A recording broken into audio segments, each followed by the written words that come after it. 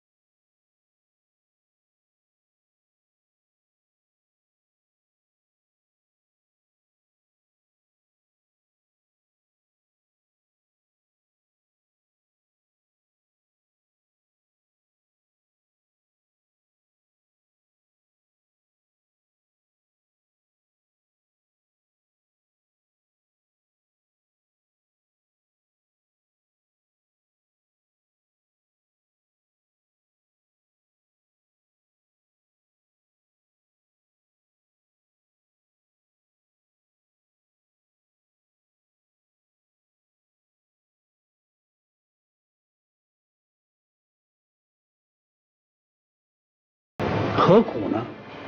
女士，婚姻这问题跟财产问题不要必然的去挂钩，那是误区。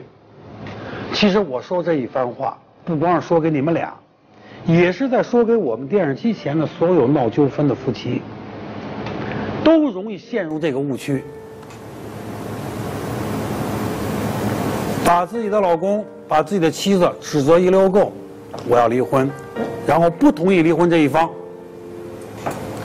就把对方又指责离又够，然后还说不同意离婚，自己打自己，这都不是解决我们二人世界的一个最好的方法。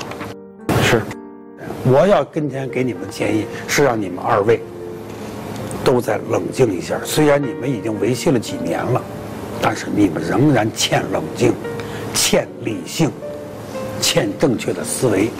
其实生活当中可能会有各式各样的夫妻关系，各种各样的家庭矛盾。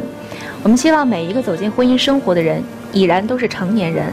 作为一个成年人，要对自己的家庭负责，对自己的爱人负责，当然更要对自己的孩子负责。在这段关系当中，我们希望唯一可以保护的那个。